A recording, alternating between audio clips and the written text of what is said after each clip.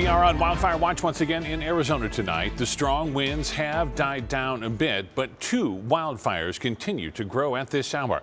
Let's begin with the largest one in the state, the tunnel fire burning northeast of Flagstaff, now at more than 19,000 acres. The timberline areas and all areas north of Lenox Road and south of Forest Service 545, including Wupatki trails, are now under mandatory evacuations. South of Prescott, the Crooks fire also growing. This one stands at 1,600 acres and no containment. Evacuation still in place for all of the areas highlighted in yellow.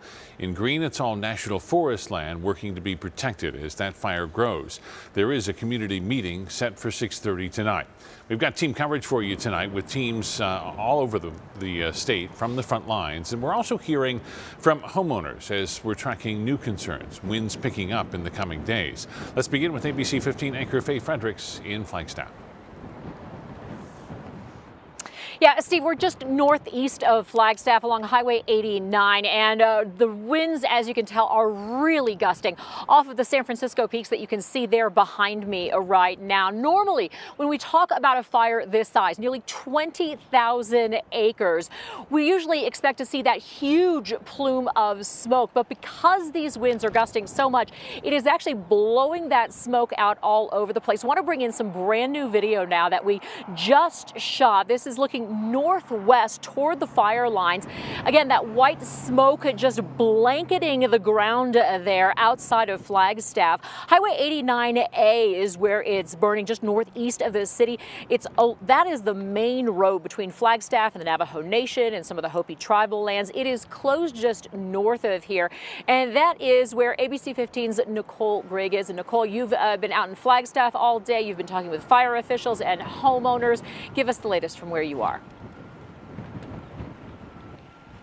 Yeah, Faye, you know what? This wind is really starting to pick up out here. Where I'm at, this is actually um, a road closure site. You have to check in with the Coconino County Sheriff's Office before you can even go beyond this point. And Faye, I actually want to direct you kind of off in the distance because we see some new smoke that's starting much closer to where we are, just on the other side of 89A. Uh, you can see that smoke. That is a brand new uh, little pop up area. Fire officials tell telling me uh, that spot fires have been causing major concerns for them today all around this fire, not just one area. And I just want to show you, you can see this is the Timberline Estates area. You can see this smoke uh, has been growing and um, decreasing throughout the day. Uh, at times it gets darker. Right now the smoke is white though. Um, but those spot fires, that means that the embers are igniting small fires all across the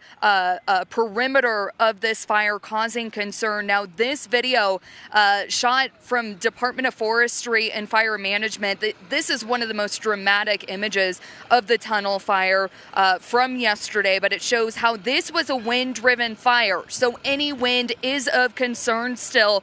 Another concern out here, resources. I'm told some of these firefighters, they haven't stopped. They're exhausted. We know there are nearly 300 firefighters on the ground.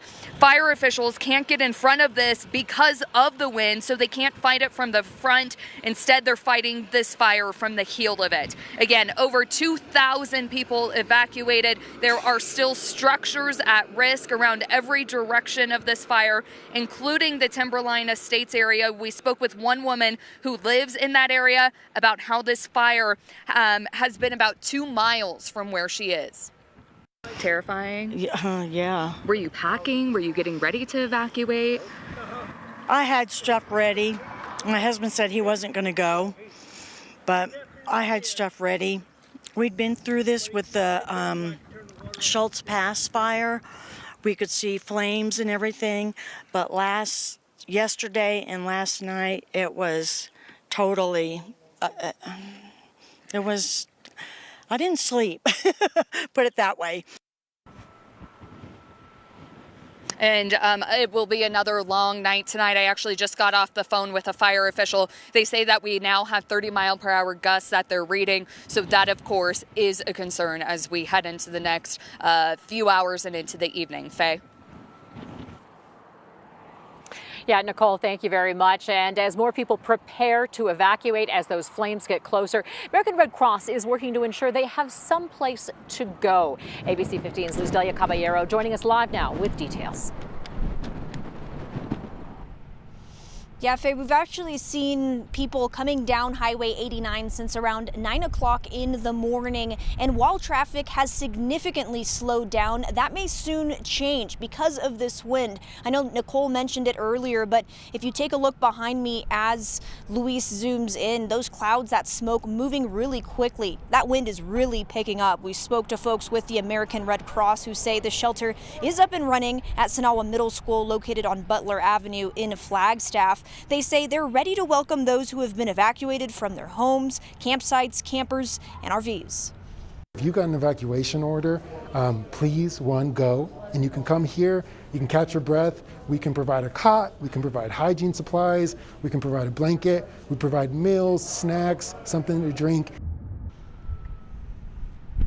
And that's all to ensure those who are fleeing the fire are comfortable. They do have a capacity of 160 people and are working with the Coconino Humane Society, who's providing shelter for pets. And coming up all new at 6, you're going to hear from folks who tell us they've lost part of their livelihood in this fire, but they also share what they're most thankful for during this time. Faye?